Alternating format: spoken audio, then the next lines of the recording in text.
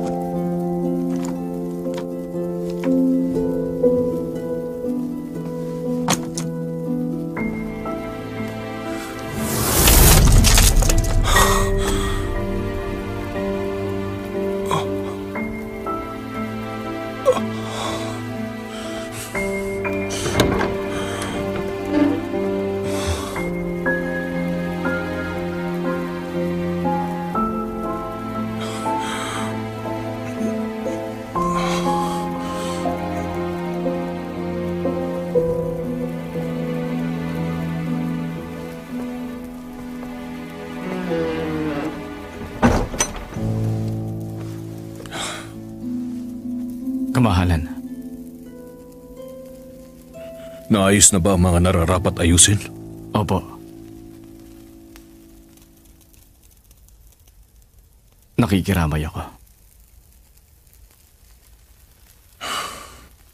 Meron pa bang iba? Nalaman ko yung tungkol sa panukala nyo. Pitong araw tayong magluluksa. Kung wala na kayong ipag-uutos pa, aalis na ako.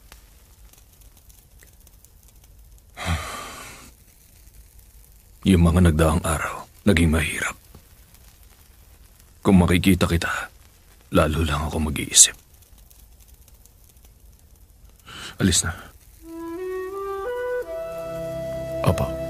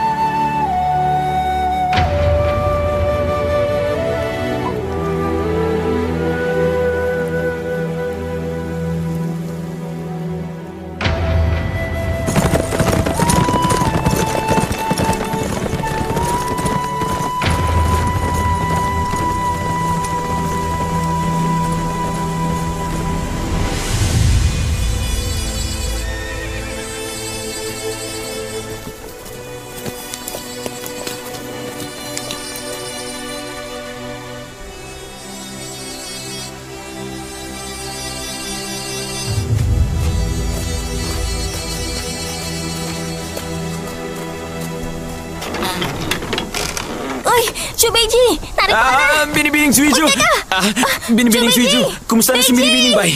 Sinong binibining bay? Ah, yung babaeng tinulungan mo? Ah, nailigtas mo na ba siya? Ah, yung babaeng yun ba? Oo. Hindi ko siya nailigtas. Ano? Ha? Hindi. Chubeji, bakit parang namumutla ka yata? Titignan ko yung pulso mo. Ah! Ah! Sinungaling! Ang masakit! Bitiwan mong braso ko! Ah! Sino nagsisinungaling? Hindi pa naman kasi ako tapos magsalita. Hindi ko nga siya nailigtas. Ngunit hindi ko sinabing patay na siya. Hindi ako... Oh, ah!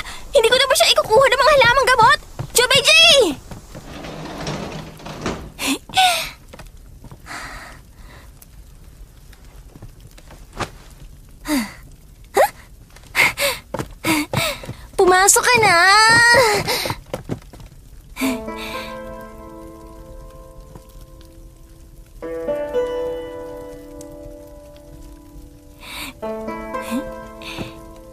Chubeji, ginawa ko ng lahat ng makakaya ko. Hmm, natagalan ng konti yung pagbibigay ko ng lunas. Kahit na ang guro ko pang gumamot sa kanya, hahantong pa rin siya sa ganyan. Kung yung espada mo nagkataong nalihis ng konti sa tagiliran, ang babaeng yan, tiyak na patay na. Kailan? Kailan siya magkakamalay? Hmm, hindi ko tiyak kung kailan. Masalimuot ang lagay ng mga walang malay. Yung dahilan kung bakit sila walang malay mahirap din. Maaaring magising na siya bukas o maaari ring hindi na siya magising pa. Uy! Tungkol doon. Ha? Bakit? Lumabas ka na! Ah! Ano ginagawa mo? Ano ka ba? Hindi pa ako tapos magsalita. Bakit pa ba ako pinalabas? Labas na! Nakakainis ka talaga.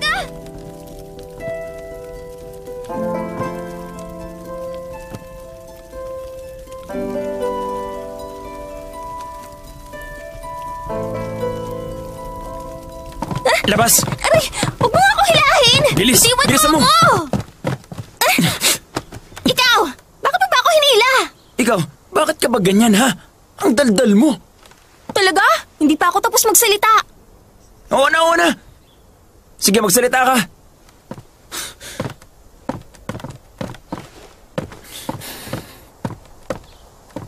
Sagutin mo ako. Kailangan maging tapat ka.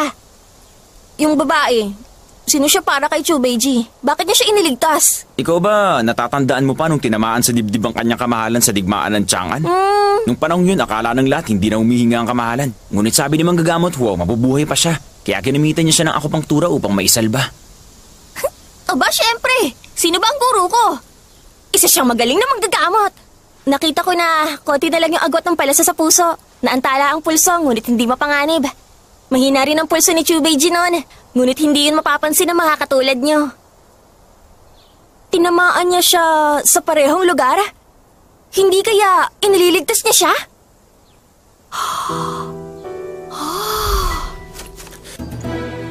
Baka lalong gumulo pag bumalik ako ron. Matalino ang emperador. Wala kang ginawang masama. Hindi kanya sisisihin. Nag-aalala ako kay Pingting. Hindi ko alam kung anong gagawin niya. Hindi ko siya mabasa. Pag nagpakita siya, mainit nila siyang pupuntiryahin. Kung ganun, upang mailigtas siya, patayin siya sa harap nila.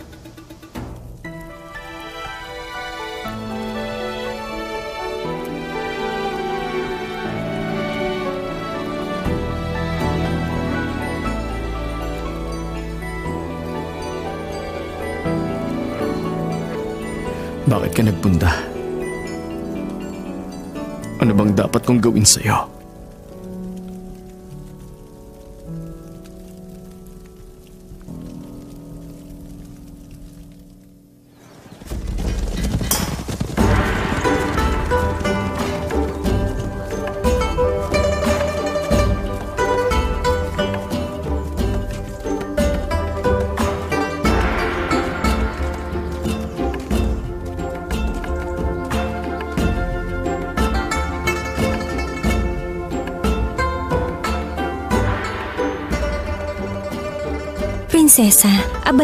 Sa mga gawain sa bayan. Pagod na pagod na kayo. Ang balat ng babae, maselan. Magaspang ang balat nyo. Dapat alagaan nyo po yan. Louis, dalhin mo sa akin yung pamahid sa mukha na ibinigay sa akin bilang handog ng mga taga-kanluran. Opo.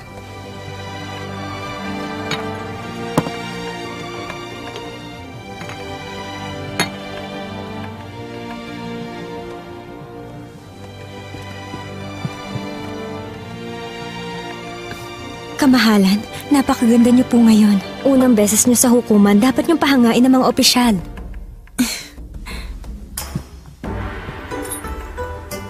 Kamahalan, ito po. Makikipag-usap lang ako tungkol sa mga usaping bayan. Sapat na ang hugis dahong pang-ipit na ito. Opo,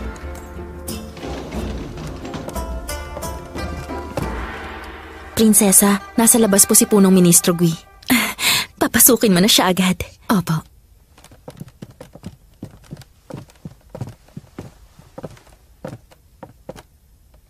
Ako si Gui Changqing. Binabati ang inyong kamahalan. Tumayo ka. Prinsesa, magmula ngayon, hindi na ikaw ang nakababatang kapatid ng yumaong emperador o ang munting prinsesa ng palasyo. Ikaw na ngayon ang namumuno sa buong imperyo ng Bailan. Ikaw ang amo at ako ang utusan. Bakit hindi ako luluhod sa harap ng aking amo?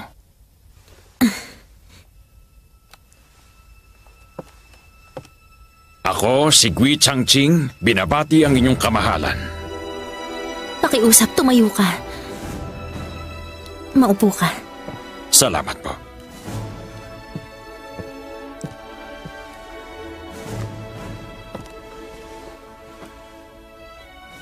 Ang dating emperador, binigyan niya ako ng habilin upang samahan kayo noon kamahalan sa bayan ng Liang.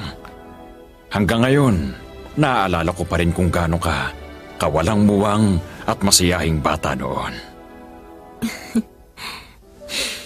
At ngayong nagbalik na kayo rito sa bayan, at malapit nang umupo sa trono dun sa palasyo ng Bailan, hindi ko mapigilang mapaluha. Ang araw na ito, ito ang pinakahihintay ko sa loob ng sampung taon. Natalo si ama at namatay sa sakit. Kaguluhang sibil at pananakop ng ibang bayan. Walang nagawa ang kuya ko, kundi ang ipadala ko sa bayan ng Liang. Kapalit ng kapayapaan natin. Ako at ang Bailan. Pareho kaming may utang na loob sa'yo. Dahil sa maingat at masusi mong pamamagitan sa dalawang bayan sa mga nakalipas na taon. Lubos ako nagpapasalamat. Naaalala ko rin ang mga itinuro mo.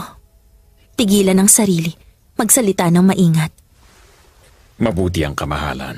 Tungkulin ko pong gawin ang mga yon. Kaya lang, kamahalan, ang Jin at Liang, parehong napahina na ng digmaan. Kahit na nakaiwas madamay sa laban nila ang bailan, hindi dapat mawala ng pinuno ang bayan natin ang matagal.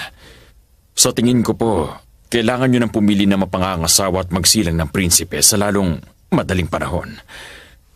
Doon lamang mapananatili ng matagal ang kasaganahan ng bayan ng bailan. Tama ka nga riyan.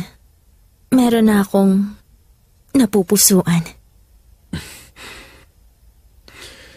Sinong prinsipe ba ang hindi papayag maging asawa ang prinsesa?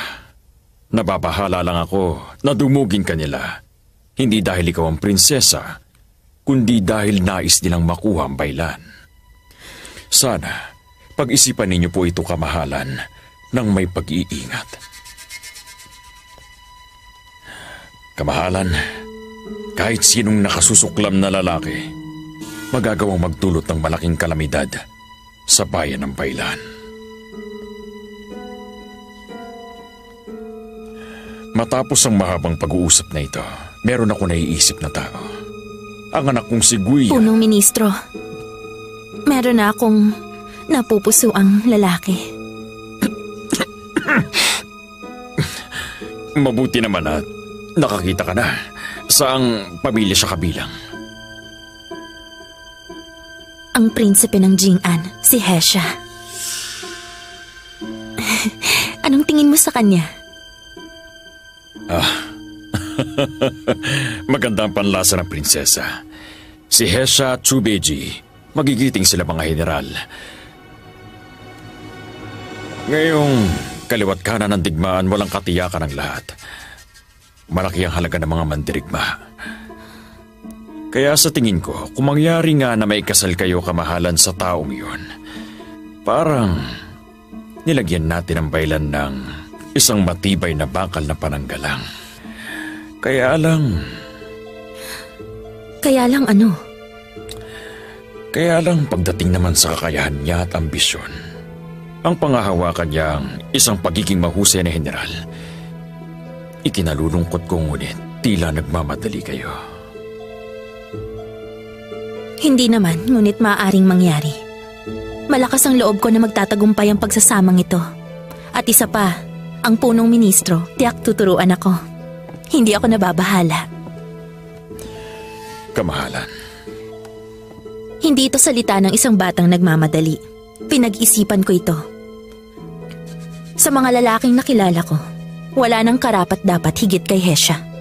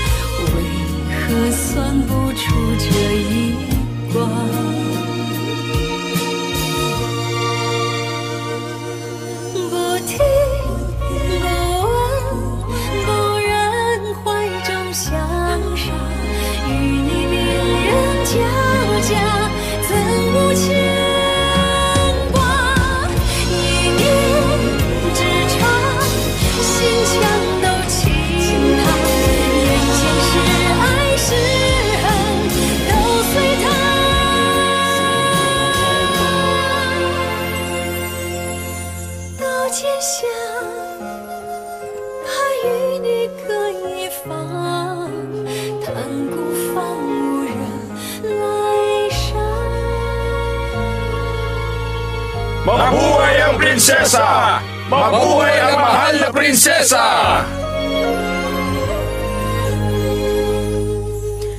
Magsitayo kayo. Maraming salamat, kamahalan! May sasabihin kayo? Apa, meron akong sasabihin. Ministro Lu, magsalita ka. Ministro Lu, tungkol saan ba ito? Kamahalan, maaaring masaktan kayo sa sasabihin ko. Maaaring ipapatay niyo ko lang dahil dito. Subalit, kailangan kong magsalita, kaya kamahalan. Patawad. Ministro Lu, tumayo ka't magsalita. Salamat po.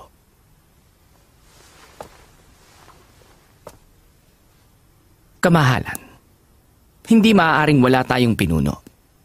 Ang dating emperador, pumanaw kaagad. Tamang-tama ang pagbabalik sa iyo ni punong ministro Gui sa palasyo upang tugunan ang usapin ng bayan. Mainam na hakbang yon, kaya lang hindi magtatagal ang bayan sa ganun lang. Sa palagay ko, higit na kailangan ng baylan ngayon ay ang magkaroon agad ng emperador.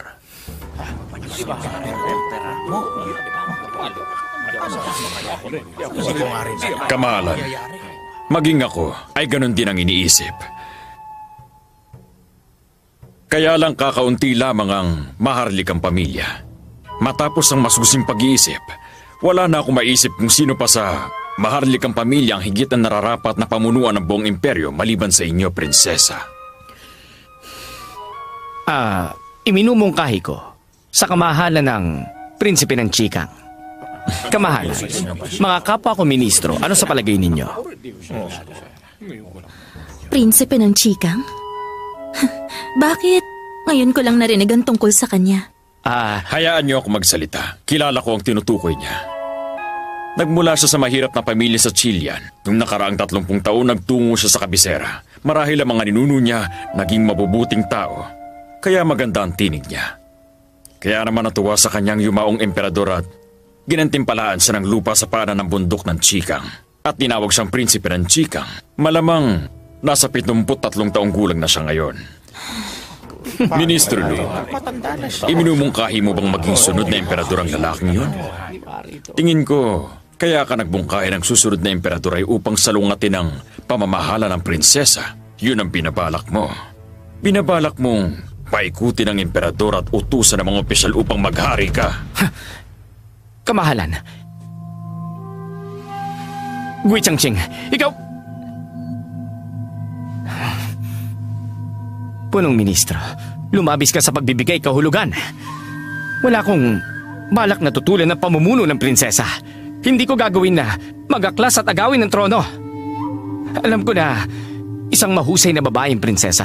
Ngunit aking sinusunod lamang ang utos ng dating emperador na sundin ang utos ng mga ninuno. Ang baylan, kailanman hindi to pinamunuan ng isang babae. Kamahalan, ang mga kautusan, hindi dapat suwayin. Punong ministro, dito, sa harap ng mga ministro ng palasyo, sumpa ko, akong si Lurong Ze. Kapag nagka-emperador na, ako ay magbibitiw na sa aking tungkulin upang maiwasan ang hindi pagkakaunawaan.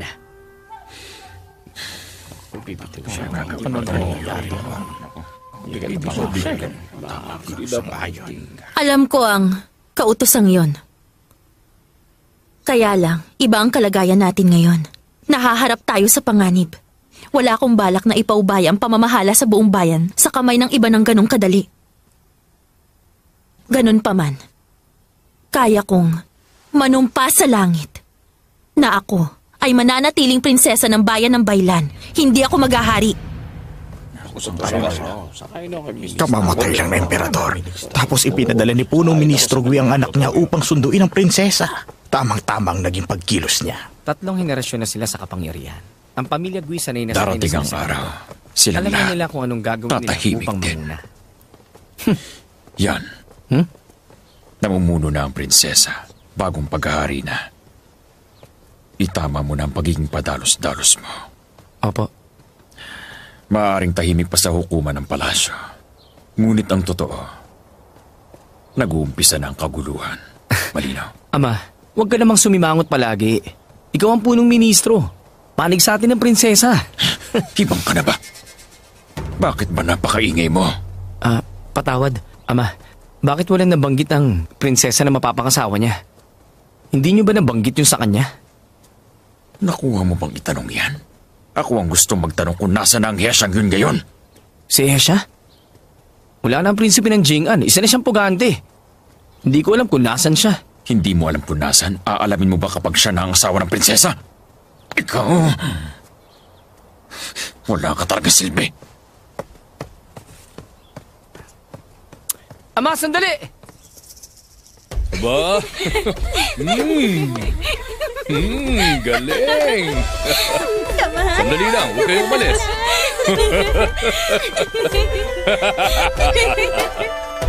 Huwag kang tumakbo. Nahuli rin kita.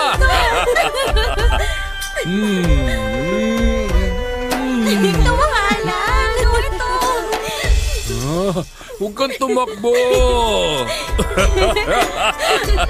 ah, huwag kayong tumakbo.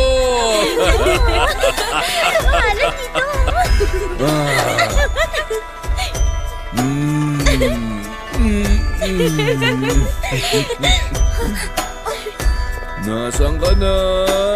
Hmm? Hmm? Hmm? Nahuli na kita! hmm. Huh? Yuner. Bakit ka nandito, ha?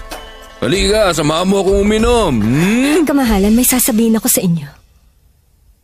Ah, may sasabihin?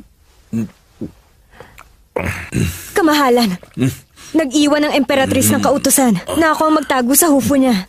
Natatakot ako. Dapat nasa emperatris ang hufo. Hindi po nararapat na ako ang magtago nun. Isasaoli ko sa inyo. Pumili kayo ng mamamahala nun. Ang kautusan ng Emperatrice. Hmm? Ah, ah, ah, ah, ang ulo ko! Elixir! Elixir! Dahan-dahan Bilis! lang. Ito. Kamahalan. Kamahalan. Oo, sige. Sundin mo na lang ang sinabi niya. Ayoko na marinig pa ang bagay na ito. Kung hindi mo maintindihan, si punong ministro siyang nang bahala. Sige, uminom ka. Inom! Inom! Bakit? Patay na ba kayong lahat? Ha? Kamahalan. Magsayaw kayo!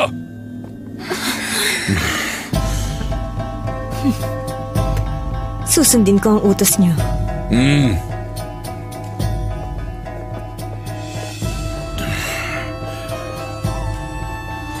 Sayo pa!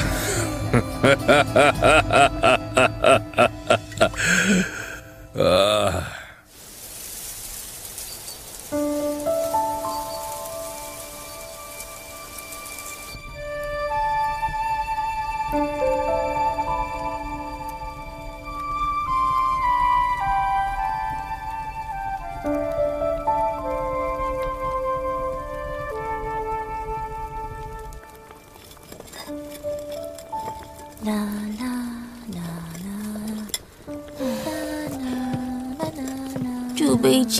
Bakit mo Suiju. siya ililigtas? Ah, narito na ang mga gamot. Nariyan na?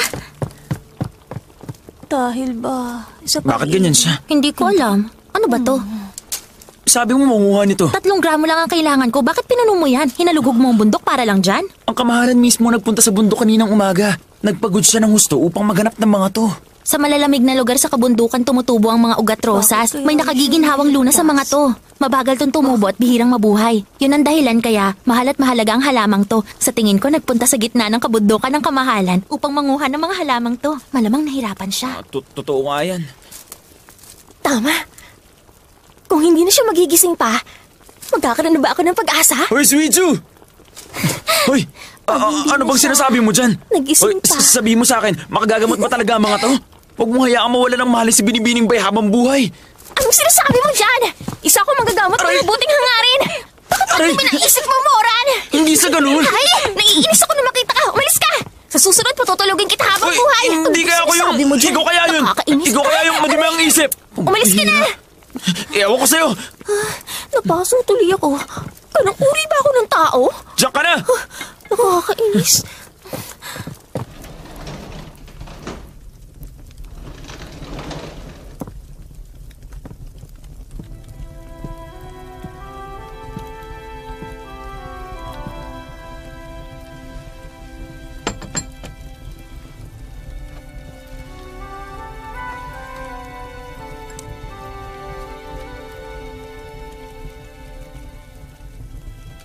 Ang gamot mo.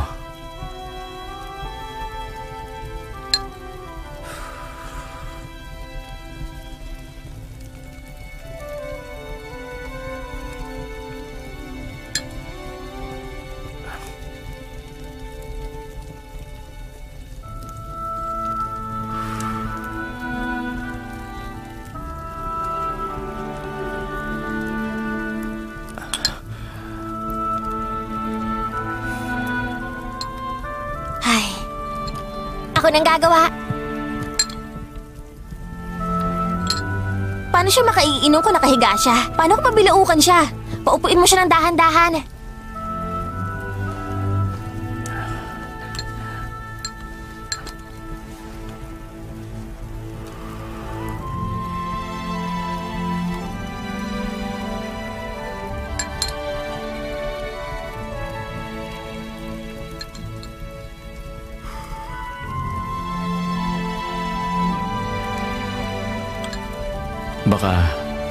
Nahihirapan siya.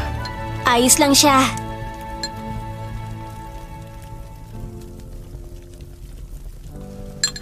Natatapon pa rin yung gamot. Wala nang ibang paraan. Kaunti lang ang maipapainom ko. Hindi maaari. Umisip ka ng paraan upang makainom siya. Wala siyang malay sa mga oras na to. Manggagamot ka. Umisip ka ng paraan. Hindi ko kaya! Kung ayaw mo, ikaw na lang. Saan ka pupunta? Aalis ako. Hahanapin ko ang guro ko at maglalakbay sa buong mundo. Bakit niya ako iniwan sa lugar na to upang maliitin lang ng mga tao? Nakakasama ng loob. Hm, Sandali. bakit?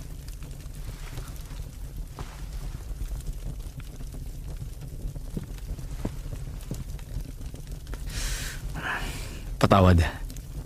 Hindi ako dapat nagalit. Kasi nalulungkot ako makita na ganyan siya.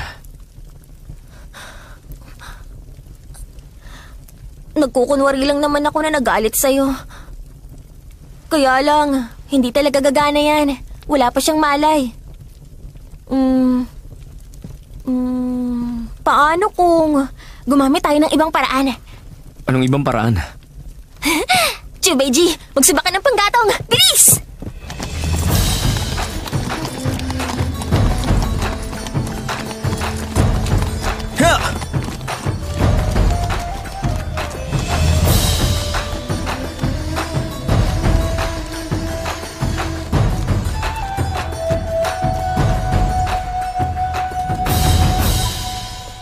Hindi na dapat ginawa ng prinsesa na ipatawag tayo mga ministro ng ganito kaaga upang ha, sumalubong lang sa isang lalaki. Tama ka. Sino ka ba upang sumalungat sa utos ng prinsesa? Paumanhin. Kahit anong iutos sa atin, kailangan nating sumunod. Matagal na kayo mga ministro.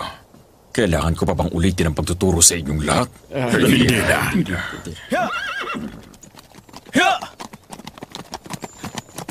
Ho! Go!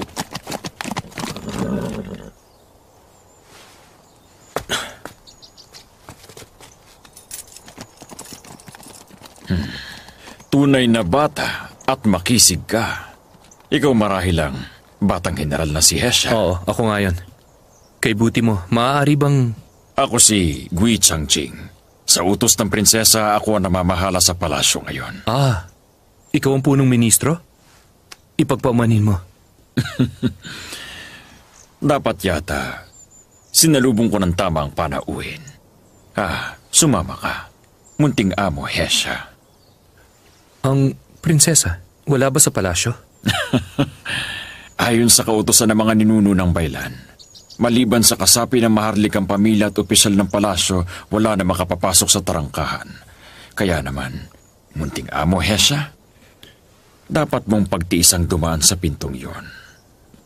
Ministro, Ah, ano bang kautosan yan? Isa yung pang-iinsulto sa amo ko. Wala kang dapat ipag-alala, batang ginoo. Ang mga to, kasama sa kaugalian namin, hindi namin yung susuwayin. ah, marahil hindi niyo pa alam. Ah, ginawa akong general ng kabayuhan ni Prinsesa Yao Chan. Ang opisyal ng baylan. Hindi dapat dumadaan sa gilid. Hmm, nauunawaan ko. Kaya lang kailangan ko munang marinig yan mula mismo sa prinsesa. Munting amo, meron ka bang hufu bilang patunay? Ah, wala pa sa akin. Kung ganon, kasulatan mula sa prinsesa? Ah, wala akong kasulatan. Kung ganon, dito tayo. Sige, susundin kong kaugalian niya. Sige.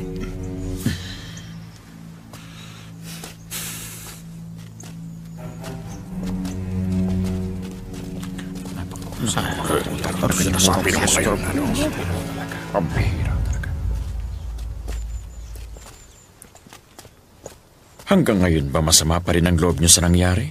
Ah, punong ministro, mali ka. Walang dahilan upang magalit ka. Meron pa rin akong magandang balita para sa iyo, munting amo. Iniisip ko kung anong balita kaya yon. Binabalak ng prinsesa na gawin kang asawa niya. Hindi ka ba natutuwa ron? Ngunit, pakiusap, wag mo akong tuyain, ministro. Sino ba ako upang naisin ng prinsesa? Mabuti. Matalino ka. Alam mo ang lugar mo. Hmm. Kagustuhan to ng kamahalan. Hindi ako malayang pag-usapan to. May ilang bagay lang akong kailangan linawin sa munting amo eh. Ah, huwag kayong mag-alala. Magsalita kayo. Mabuti. Kung naiintindihan mo ko, dederetsuhin kita.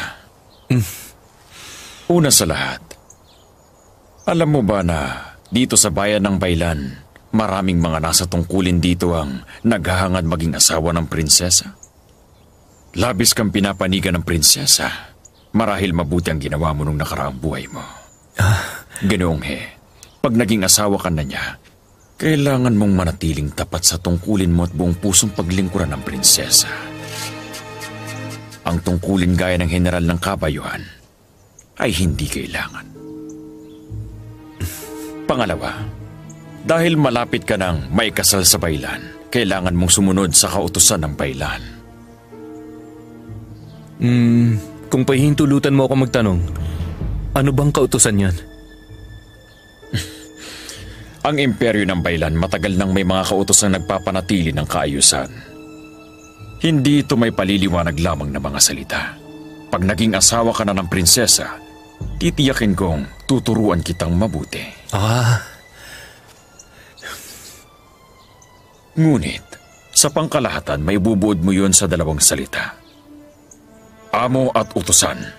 Umaasa akong iisipin mo yun sa inaharap. Ang pangatlo, naniniwala akong sa oras na ito, tiyak na alam mo na kung ano talaga ang tinutukoy ko. ah, patawad kung hindi ako makasunod. Sabihin mo upang maunawaan ko. Kahit anong dahilan ang meron ka upang magtungo sa bayan ng Bailan. Ang palasyo ng Bailan, hindi ganun kadali gaya ng iniisip mo. Kung nais mong pangalagaan ang buhay mo, alamin mo kung saan ka dapat lumugar. Naghihintay ang prinsesa. Prinsipe, sumunod kayo sa akin.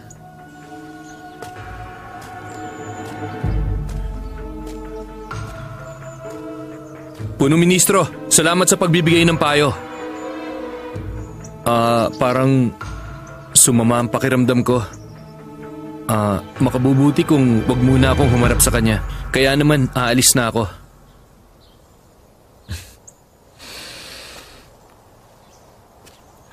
Marahil napagod ka sa paglalakbay mo.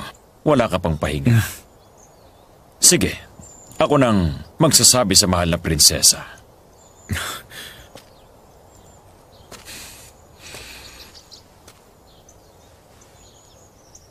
Bata ka pa. Dapat alam mo kung saan ang hangganan mo. Dapat mo ngang ipagtanggol ang sarili mo. Sige na, alis na't magpahinga ka. Hindi na kita iyahatid. Salamat. Amo! Amo, hindi natin naharapin ang prinsesa. Amo!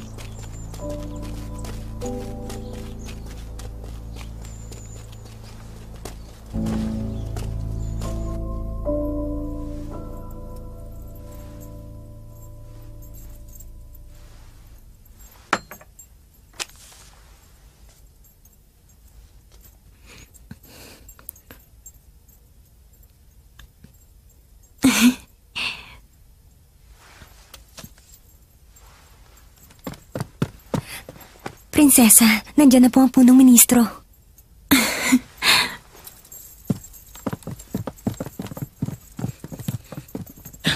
Binabati ko kayo.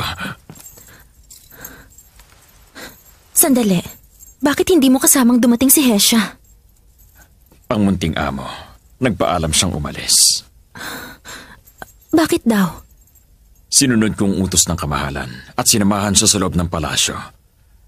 At sinabing, nais mo na siya ang iyong mapangasawa. Subalit pakiramdam niya hindi siya karapat dapat sa iyo. Hindi niya matatanggap ang kabaitan mo. Pagkatapos, umalis na siya. Umalis siya ng gano'n na lang? Binigo ko ang kamahalan. Hindi ko siya napapayag. Prinsesa, parusahan niyo po ako. Wag na. Ito ang naging pasya niya. Wala kang kasalanan. Inabala kita. Makaaalis ka na. Opo.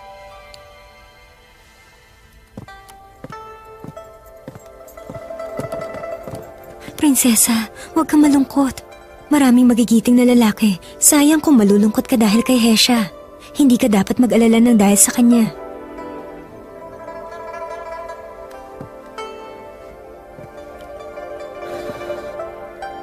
Umasa lang ako sa wala.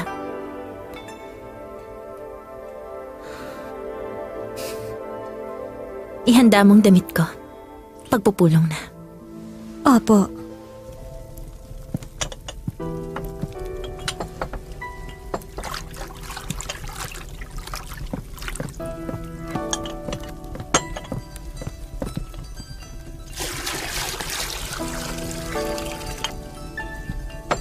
Pa yung tubig. Bilis, kumuha ka pa.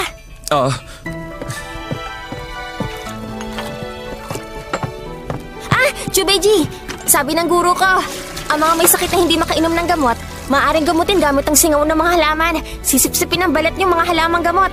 Isa pa, kaming dalawa ni Weya nagpakulo ng pinakamabisang ginseng na may kasamang kasuba. At saka ugat rosas, upang lumuwag ang dali ng dugo.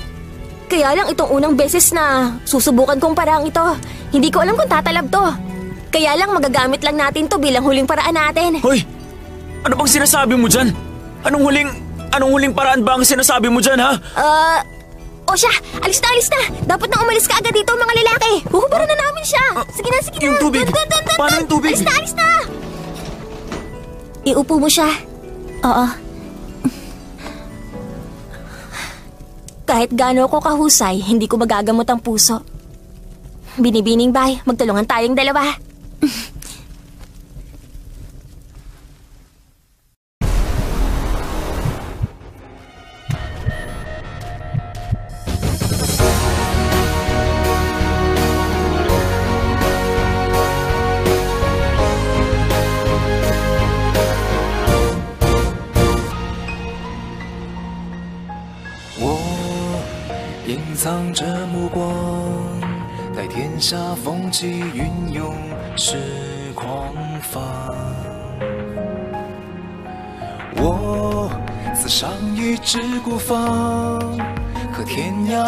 有你的发香？天微亮，遥远北方，是烽火烧尽城市灿烂过往。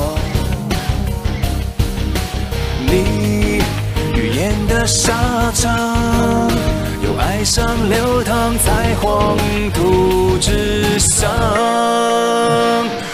战啊战，为生而唱，为你抵挡。对月仰望，对天呐喊，对你疯狂。盔甲肩膀，荒凉悲壮，别忘记我模样。无我，无名，无常。从此是我的心事，从此断茫茫归途。别愿想象最深处，我回首来时路，何来繁华的嚣张？烈日当空，心灼伤，我永不降服。为战而战，为生而唱，为你抵挡。对月仰望，对天呐喊，对你疯狂。下肩膀，荒凉悲壮，别忘记我模样。